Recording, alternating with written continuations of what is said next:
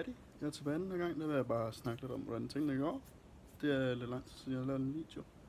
Jeg tror, det er en to måneder siden. Jeg er lidt op og ned. Øh, jeg troede, jeg havde fundet en pige, jeg kunne rigtig godt lide fra Esbjerg. Det er så, så øh, overhovedet ikke. Og hvad det, jeg troede, det var? Fundet en anden i stedet. Bor her i Aarhus. Stine. Skidesød. Sammen lidt mere end en halvanden måned snart. Virkelig, virkelig hyggeligt. Øh, fantastisk pige. Ja, nær mands drøm. Øhm, så det kunne ikke være meget bedre end det. Det kan ikke være bedre end det. Øhm, så det bruger jeg rigtig meget tid på.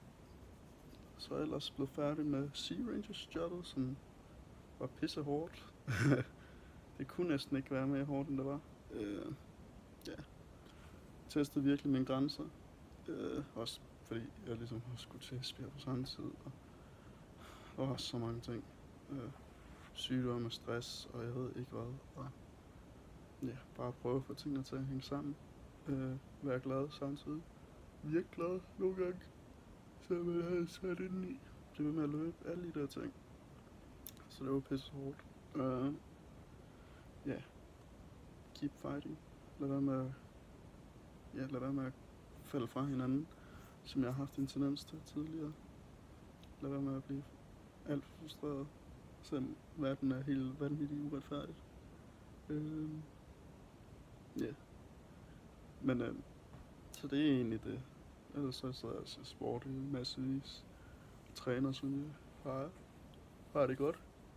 Jeg skal holde jul. Kan jeg få lov, endelig få lov til at være sammen med min søster i julen.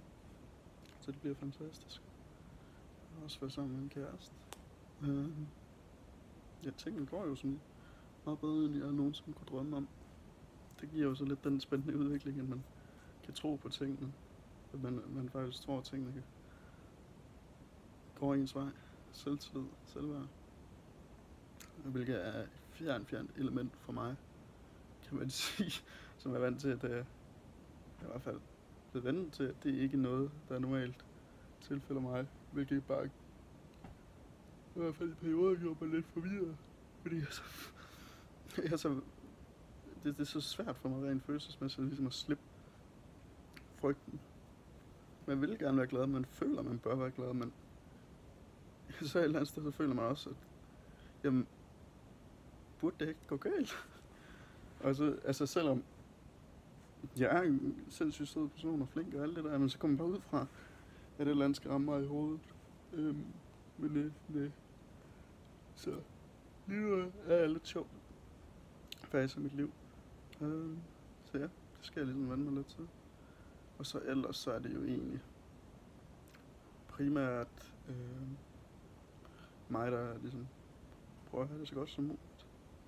Øh, har ikke noget at brøve over. Det er meget langt øh, og sådan Øh, egentlig bare stille og roligt tage tingene stille og roligt ud af det. Selvfølgelig det kunne være fedt at have et permanent job eller en uddannelse, men det går sgu. Det er sådan lidt, lidt træls at arbejde røven ud og ikke rigtig få. Udover kommunal støtte. Det kan ikke piste. Ja, men øh, det er nogle gange som det er, og ja, det går sgu meget godt. Øh, så jeg er sgu meget glad for, hvor jeg er.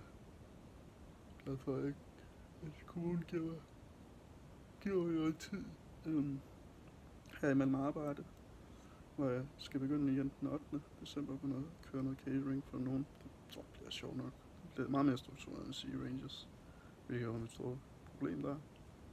Nu må vi se, om det bliver for monotont, men øh, jeg skal selvfølgelig nok gennemføre det. Ligesom jeg gør med alle andre ting her i livet. Øh, men øh, altså, det er jeg taknemmelig for, at de ligesom endelig har forstået det. Og hvad er den møder med kommunen, det er godt nok noget. Ja, ikke så godt. Eller jeg kan i hvert fald ikke lide det så meget. Det der, jeg tror heller ikke, der er specielt mange, der kan. Men jeg må tage det, som det er. Øh, ellers bare nyde min tid. Nyde mig nok, mens han stadigvæk er her. Ikke fordi han er der, han er ikke så i graven. Men øh, bare nyde de der ting. De små ting. Så ellers bare enjoy the silence. Øh, bare nyde, at tingene går, som de skal nede, at jeg ligesom har fundet lidt, hvad jeg gerne vil. jeg ikke overdriver mit sociale haløjse nede i kælderen, som jeg ellers tidligere har gjort. Nu er det nærmest den forkerte vej, kan man sige. Ja, der står så ikke. Og det er sådan lidt det der, altså jeg går heller ikke med, jeg er faktisk som en virkelig god psykolog, og man kan jo ikke sige det i et halvt år. Tingene går sgu meget godt, tingene er balanceret. Mit medicin går jeg ud fra at virke, fordi jeg er balanceret. Så meget som jeg nogle gange kan være. Har selvfølgelig mine svære perioder, men det er overhovedet ikke lige så slemt, som det har været før. Det er som om redskaberne er der. Jeg kan finde ud af at kapere det. Som det godt nok også har været på hårdt arbejde. Især med den der ja, ekskæresten. Øhm, men altså, jeg lærer lidt af det. Jeg, jeg har ikke lyst til at møde det igen, men jeg ved jo aldrig. Det er det, der altid er i mig. det kan man også høre. Jeg er svært ved at tro på tingene, men jeg ved i hvert fald, hvad jeg ikke vil. Jeg ved i hvert fald, hvad jeg, hvad jeg burde gøre. Jeg ved, hvad jeg skal lære af tingene. Nu må jeg så snart fatte og kunne sige fra. Og selv når jeg har sig fra, så bare gør det konsekvent. Øh. Så ja, det er lidt mit eneste problem stadig. Det er, når andre ligesom skaber problemer det for mig. Det synes jeg er svært. Øh. Men ellers så går det jo også godt. Det er også derfor, jeg ikke har haft noget behov for at lave nogle videoer. Mange af de her videoer, det er også et behov for at fortælle, hvis der er noget, hvis der er nogle følelser. Lige nu, mit liv kører, som det skal. Der er ikke noget, der går på. Som jeg også har sagt, det er lidt, altså lidt spild af nogle minutter nu, men whatever. Det er som det er. Så jeg nyder det bare. Og håber, det bare kan fortsætte.